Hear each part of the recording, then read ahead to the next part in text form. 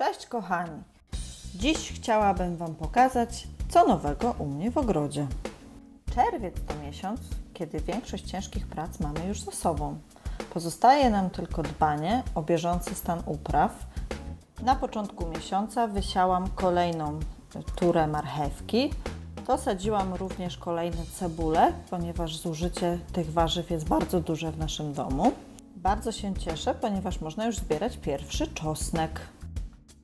Również chrzan zachwyca swoją wielkością, także nic tylko czekać na ogóreczki.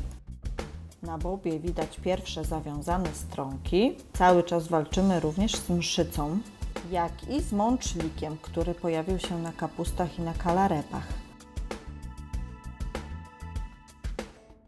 Nasze ziemniaczki. Zeszła tylko jedna odmiana, także na pustym miejscu posiałam fasolę tyczną y, i taką karłową pory i selery.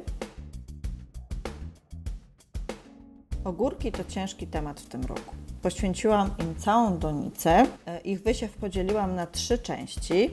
E, pierwsza rozsada zmarzła, druga rozsada powoli rośnie, trzecia tura była wysadzana z nasion i dopiero teraz powoli coś tam widać.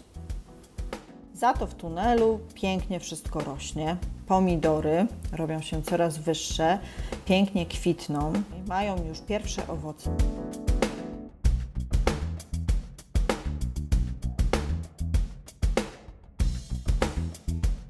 Papryki też bardzo ładnie dają sobie radę. Zrobiłam mały eksperyment i w jednej odmianie urwałam te pierwsze górne kwiatki. Na razie lepiej radzą sobie te, w których nic nie było urywane. Pomidory koktajlowe w donicach też już zawiązują pierwsze owoce.